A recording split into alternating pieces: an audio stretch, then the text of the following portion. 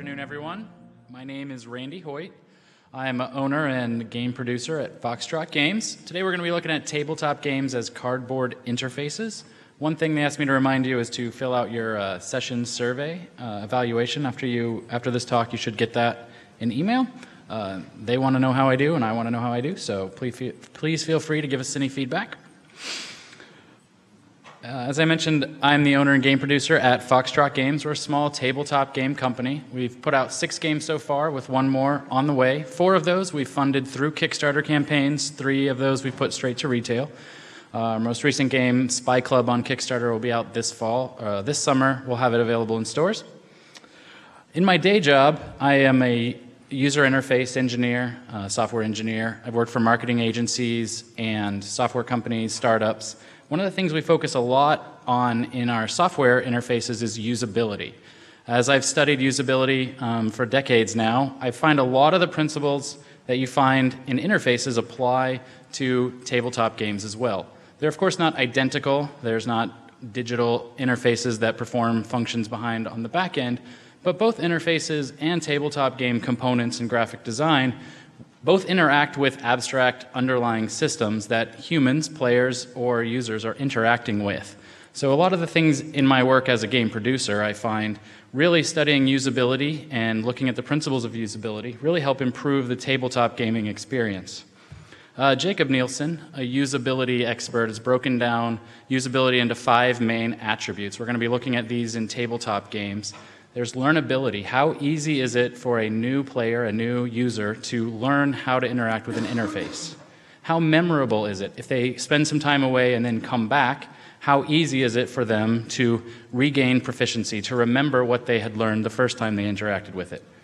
Efficiency. Once they've used the system, once they've used the interface or played the game, how quickly can they perform the different tasks?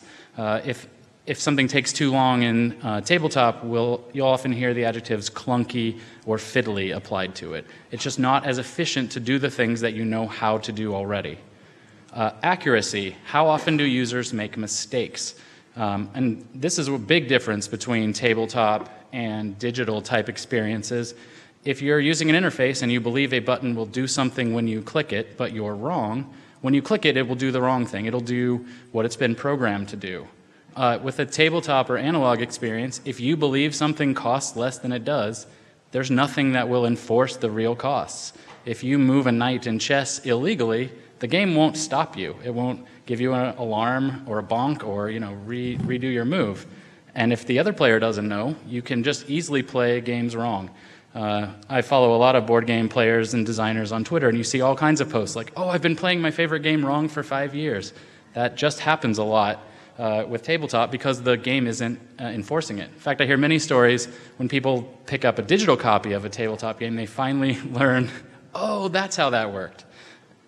The last element is satisfaction. Now, with a user interface, you know, you think about if you're using software to file an expense report or book a flight or uh, like a message on Facebook, uh, you have a main utility of that app. You're trying to accomplish a task. And how you feel about it is sort of secondary. Obviously, if you enjoy your experience, you'll be more likely to come back, and it's an important part of usability. But with games, especially, there isn't exactly a task that you're trying to complete. It's the satisfaction is the main utility. You are trying to have an experience.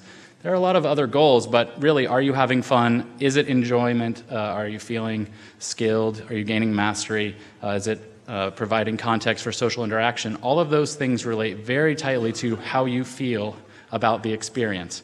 So, a lot of these things we're going to look at, usability, really drive that satisfaction that you have with the product, the game, and make you want to come back to it. So, we'll look at a number of examples from games, some I've worked on, just because I have the behind the scenes insights on those, as well as some popular games that you're probably familiar with. And we'll look at these games and uh, along these, some of these different aspects. So we'll start with a pretty popular game, Catan. Uh, Catan has three types of wooden pieces in the game roads, settlements, and cities. One of the things you do on your turn is you spend resources to place one of these wooden pieces on the board. That's a pretty intuitive rule, and when you learn the game and someone's explaining it to you, uh, they say turn in resources, put the thing on the board. It's pretty intuitive how to do it. There are some rules, uh, some restrictions, uh, but one of the things that's the hardest to remember or to learn is what exactly each thing costs. Uh, they've tried really hard with Catan to make them feel uh, thematic, uh, so it makes it a little bit easier to remember. Uh, but when you come back to Catan after having not played it for a month, you might be a little confused. Now, what do I have to do to build a city exactly again? Uh, and also, these wooden pieces will generate resources. That's part of the game. You roll the dice, and if you're built on a corner with a number, it'll produce uh, that given thing, that given resource. Again, that's a rule that's pretty straightforward. Uh, but the costs, uh, to help with learnability and memorability, the game includes reference card.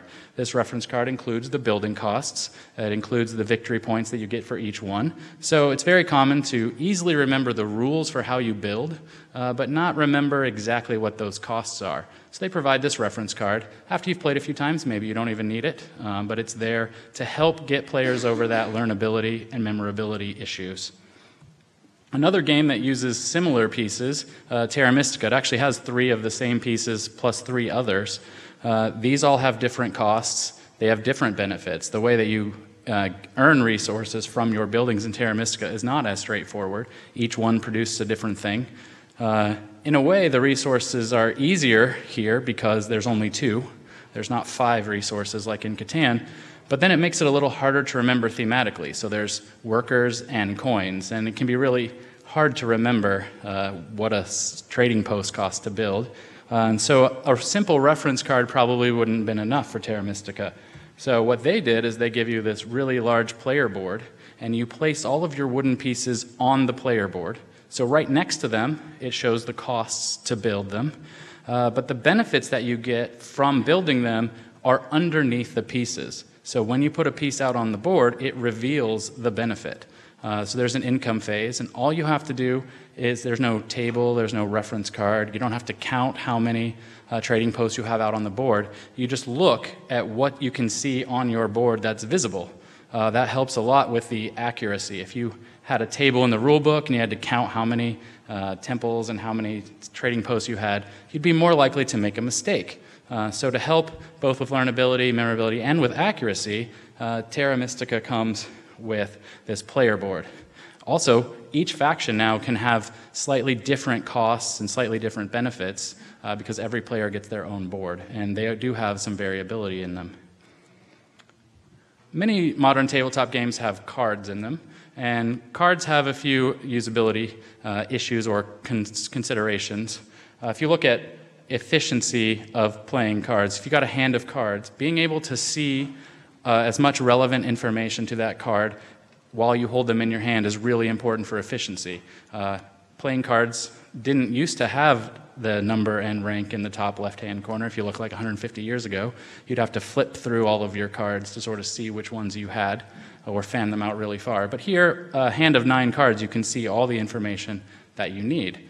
Of course, in modern tabletop games, cards have a lot more information that you need on them, and so you really have to prioritize what goes in the top left corner, uh, what can go in different places. I've got a couple of different uh, games to look at here. Uh, seven Wonders, one of my favorite games. You start the game with a hand of seven cards, and you can, if you have the resources, you can build one, which is place it on the table in front of you. The building costs for these are all in the top left corner. So you can, even with a hand of seven cards, you can see all of the uh, requirements for you to build. You can quickly scan your hand and see, oh, well, I can't build those five. And at the beginning of the game, there are many you can't buy. So you can just focus on the two or three that you may be able to build. The benefits, um, what you get when you build them, is all in the top uh, up there. You can see a series of icons. So as you play them on the table, you can stack the cards uh, you don't have to have the whole thing visible. Uh, Seven Wonders does not have any card text, um, which is an interesting choice. The AHAV has a really robust system of iconography uh, that could be a little tricky to learn, but once you know it, it makes the gameplay a lot more efficient. You don't have to read all of the card text. Uh, just as an example, I taught my son, who at the time was seven, I think, to play Seven Wonders, and he could play it. It's not a game for seven year olds, but he could, I could teach him what all the icons meant, and he could learn, and holding them all in his hand, he could process what they were. We played some other games that had card text that were simpler, but he didn't read fast enough. He couldn't see them all at the same time, so he's flipping one card at a time, reading the text, and before he even got through his whole hand, he forgot what cards he had available. So having that iconography makes it really efficient. However, it does inhibit learnability to some degree. Here's one example card. This card, uh, what this iconography means is when you build this card, you gain two coins for every gray card you have in your civilization. Plus, at the end of the game, you gain two victory points for every gray card that you have. That's a nice long paragraph of text. Could have had that. That you might not intuit that that's what that means from looking at it, but once you learn the game, that's something that you can then remember and process efficiently. They do include on the back of the rule book a giant list of all the icon references.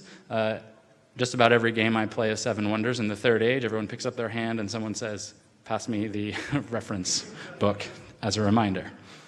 Now, another popular game, Dominion, uh, puts its building costs in a different place in the bottom left hand corner. Now, the reason for that is in, in, Dominion, the cards start out on the table, and you can see the cost to draft them into your deck. Once you get them into your deck, that cost is irrelevant. So when you draw the card and you hold them in your hand, you cannot see the building cost anymore. You're, it's like where your thumb is. It's hidden because it's no longer relevant. In the top corners, they show the, when you play a card, what it produces.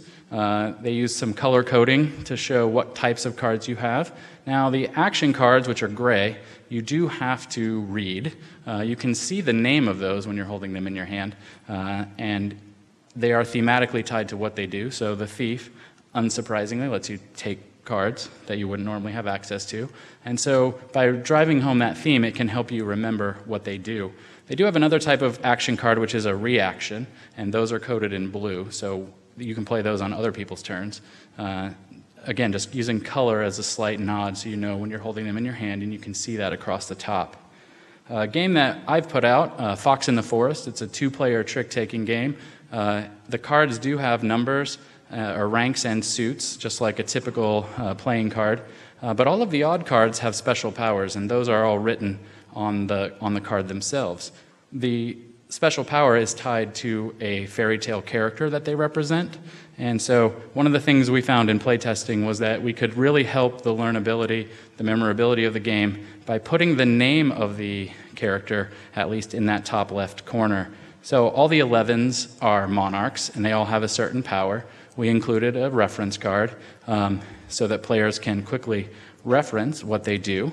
Um, that's all pretty standard. We went a little step further and we commissioned an author to write us a custom fairy tale that really helped uh, kind of explain why the characters had that power. So, the rule book, we kind of sprinkled these excerpts throughout. So, uh, from this fairy tale, you can see why the 11 and the 1, which is the monarch and the swan, interact. Uh, just as a little way to help every little thing you can do to help a character or a player remember what does the 11 do, why is the 1 related to it, those kinds of things. And really, as you're playtesting, I strongly encourage you always to look at playtesting as usability testing as well. Of course, early on, you don't know if people are going to enjoy the mechanics that you have, but as those mechanics start to get refined, as players are consistently having fun with the game, you can really start to take a look at the usability, how players interact. With Fox in the Forest, we asked players after they played, we'd quiz them a little bit hey, what's the power on the three? which character lets you change the trump suit? Uh, what number is the fox? And as we play tested that, especially once we put the character numbers in the top corner, uh, that definitely improved. And so we were able to get players by testing, testing them as well as the game to see where was it starting to become easy to learn, easy to remember what they're doing. Now, just to give you some context uh, on the work I do as a game producer, if you're not familiar, uh, with the board game uh, process or how board games today get made. Typically, what happens is a game designer will create a prototype and pitch it to a publisher. It's a bit like an author uh, submitting work to a publisher. Looking, the author will write a manuscript. Here, the, the prototype will be fully playable. It will have been tested, been found to be fun. Uh, it will even have some clean graphic design, probably maybe some clip art or some stock photos to help set the atmosphere of the game uh, but I won't have any of that artwork done uh, yet. They'll pitch it to a publisher. Uh, that will come in, and someone at the publishing company will take on the role of game producer, which is continue play testing, continue development. Uh, on the board game side, we have a little bit different terminology for designer and development than you might find in the video game world, because a designer can, a game designer can make a complete, fun, functioning game without any special programming skills, any of that. So for development at a publishing house, a bit like an editor in that book process. So the author will write the book, then they'll work with an editor to refine it. And at that, that point, uh, a developer is really helping uh, the, the, the designer refine the game, play test it. And then, of course, you're looking at artwork and layout. So they'll commission the artist, uh, commission a graphic designer to kind of handle all that work and get it ready. And so when the game producer's work is done, what you have is a product design ready to go to the printer. Uh, usually a bunch of PDFs is the output of this process. Uh, at each step of the way, you're continually checking for usability. One of the biggest things I find in my work is a nice, clean prototype has very good graphic design. And when you start to add artwork and make it beautiful, that starts to interfere a little bit with the usability. And so there's a lot of work that has to be done. I've got some examples of that that I'll cover as we go. To dive in on some of the development, I'll start with uh, one of our games, World's Fair 1893. This is the prototype that was pitched to me.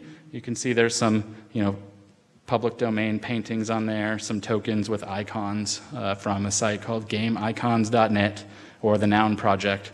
Uh, those are two popular places to find just simple, clean icons. And this was pitched to me. I evaluated it, played it, and decided I wanted to publish it. Uh, one of the mechanisms that we changed in the game was the scoring. So in the game there are five regions, and it's there's three rounds, and you're going to be trying to get the majority in an area. You want to have the most influence in each of the areas. And at first, the areas all scored with slightly different point values. So here, this one, the one on the left was five points for first, three points for second. The other one was four points for first, two points for second. And one of the things that, the way that that, tracked, that scoring was tracked was with uh, generic scoring tokens variously denominated. So there, I think, were one, three, and five. So if you scored four points, you'd take a one and a three point token. Uh, there was a lot of back and forth making change. It was a bit too slow uh, for that scoring round. So we looked at adding a score track. We thought a game like Ticket to Ride has a scoring track, and this is a similar weight. But an important thing to note with Ticket to Ride is you're not scoring 10 different things all at once in the middle of the game. You're scoring every time you build, you score, and then at the end, there's a big scoring round. So as we play tested this, uh, continue to do usability testing, we found that in the scoring phases, people would just start to check out a little bit. And once one player starts to check out and everybody starts to check out, then it takes longer to do the scoring and it makes it seem longer. So the game was playing about 45 to 60 minutes. People really enjoyed it, but you could just tell watching them that we needed to keep them more engaged. And so we looked at, um, this was more trouble than you might think to try to figure out the best way to track the scoring. So what we ended up doing was we changed all of the regions to be worth 4 and 2. Then what we could do is just have a 4-point first place token and a 2-point second place token. It's much easier to just pass those out than it is to count out who's blue, let me count you four spaces on the scoring track, or even hand out just various, oh, you need a 3 and a 1, oh, you've got 10, let me make change. So you can much more easily get through the scoring round. The game now plays in about 30 to 40 minutes. Uh, you know, and reviewers always talk about how great the game is for its decisions versus the time. And reviewers will always mention that. They'll be like, man, for a 30 minute game, this has a lot of decisions. And we found in playtesting that 45 to 60 minutes, it just wasn't quite delivering the satisfaction that we wanted. Another example of a fun component is from a game called Camel Up. Uh, if you've if you ever played this game, it's hilarious. You're watching a camel race, you're betting on this camel race. And the way the camels move is there's one die matching each color of the camel, and they can move one, two, or three spaces each round. Each camel will move one space. Now, to roll the dice, they have this pretty crazy pyramid contraption.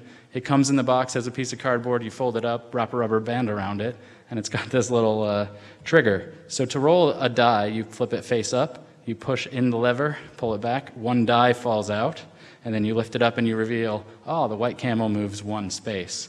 Now, I hear a lot of people all the time say, well, that's ridiculous. You didn't need this crazy pyramid, right? And that could be true. You could just put the dice in a bag and pull them out, pull one out and then roll it. But what's interesting there is that when you're rooting for a camel, you're like, I really need that blue camel to move two or three spaces if they drew out a white die, you'd be like, oh, I don't care about the number on the white die. So you check out. Um, this way, you reveal the color and the number at the same time, keeps everyone engaged until it's revealed. There's no partial revealing of information. Again, silly, nice little touch, uh, but it does, it keeps the color and the number hidden until the exact same moment. One of the things in tabletop that we often do as publishers is retheme games. I don't know how common that is in the video game. My understanding is that by the time you get into designing and developing, you're pretty much committed to your theme. But with tabletop games, the mechanics are abstract enough. Uh, there's a lot that we have to abstract away. Uh, you know, you play a card and that counts as building a resource or building a building. Um, and so publishers will at times retheme games. Uh, this is one of our games that uh, I've rethemed. It was pitched to us as a flower themed game. So you were planting flowers, harvesting flowers, and making bouquets. Nothing wrong with flower themed games. There have been some that have done quite well, but it wasn't particularly interesting to me. But when I read the rules, I was really fascinated by the mechanics. And the way the game works is you place a tile, and all there's four colors all on the different sides, and whichever way you place it, um, everybody at the table will get a resource matching the color that's facing them. And I thought that sounded fascinating and wanted to play it. I played it, loved it, uh, but wanted to look at rechanging the theme.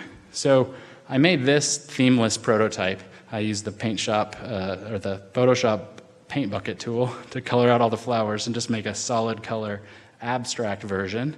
And listen to what players, as they played, what they said about the game. So they, the mechanics would give them these feelings simple and elegant, it's calming, it's delightful, relaxing to play, and flowing. And I sat back and thought, what theme has all of those same attributes? Now, the mechanics in your game will produce an atmosphere, will produce a feeling uh, independent of the, of the theme. And a lot of times people will feel a dissonance between the theme. If you have a cute theme but a heavy aggressive uh, mechanics, players will just not quite feel right. So, what I wanted to do with this was give it a theme that matched the feelings of the mechanics. At the time, I was talking to another, a number of other parents about why the movie Frozen had done so well compared to the movie Tangled, and I had, ah, that scene in Tangled with the lanterns in the water. I was like, that perfectly captures all of those feelings that the mechanics capture. And so we spent a good amount of time working on retheming that game uh, to Lanterns the Harvest Festival. This is probably our most popular game right now. It's, uh, it was nominated for the, it was a finalist in the South by Southwest Tabletop Game of the Year a few years ago. Uh, and we started working on the artwork for the game. As you can see, I kept some flowers in there as a nice homage to the original theme. Um, this is one of the, the artwork for this is one of those times where you're looking at the, the prototype was really usable just solid colors. Um, but you want to try to then add artwork and make it beautiful. How do you still make it usable? So I worked with the artist here, Beth Sobel. She did a great job of sort of making sure that the, the design, the layout would still be able to communicate to players what the the gameplay was, which colors were on the sides. Uh, she made the different lanterns a different shape to help with colorblind friendliness and also just looking at it across the table. And they all have different arrangements as well.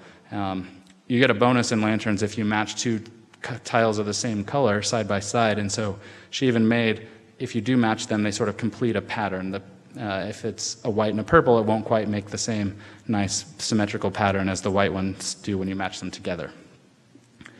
I mentioned our most recent game, Spy Club.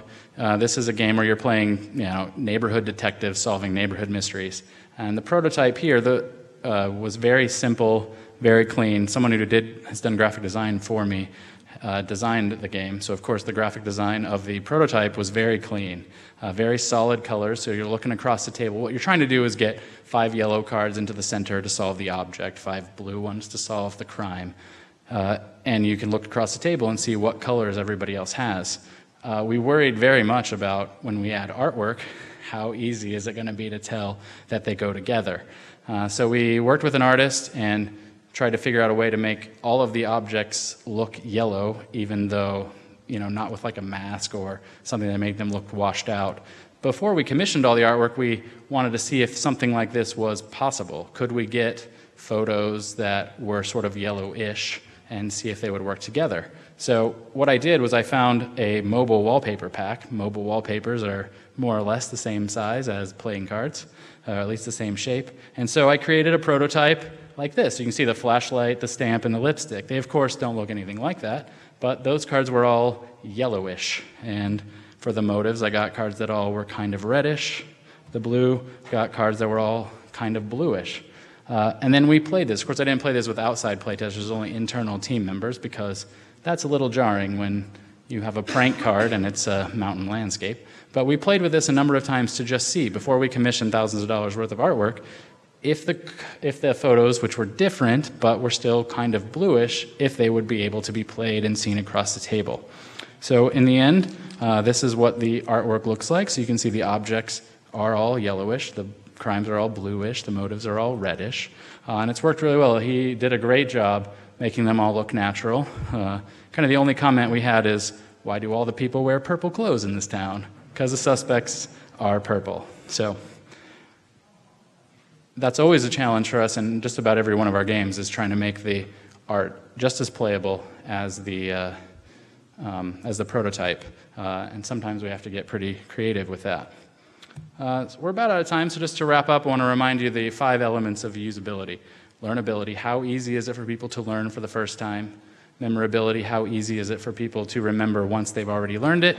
Efficiency, how quickly can they perform the tasks once they know them?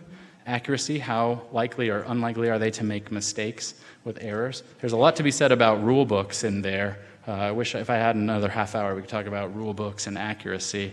Uh, and then satisfaction, how do people enjoy the game?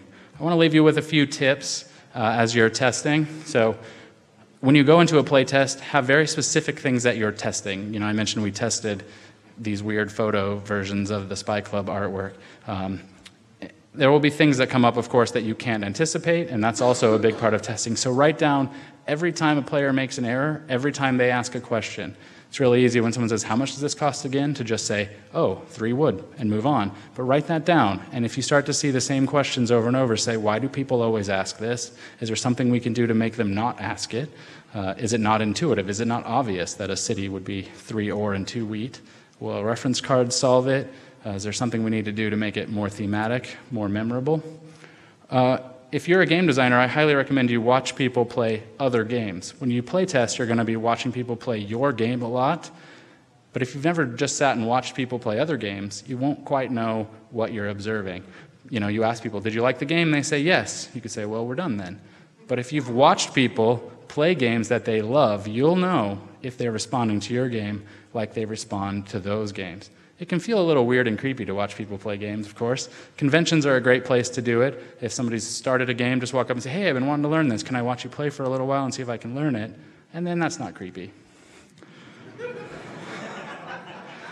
Uh, and also, I'd recommend you study interfaces in other games. So, look at the graphic design in other games, look at the way they use score tracks, uh, tokens, coins, all these things.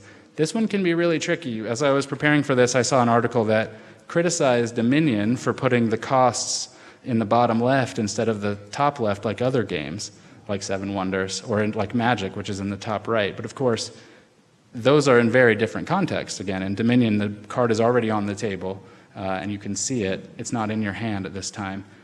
Again, we looked at World's Fair and a score track. We thought, well, other games use a score track, but again, that was a different context. So I do recommend that you study all these games, uh, other interfaces and games, but be careful that your situation might be a little different and be very careful to pay attention to those nuances.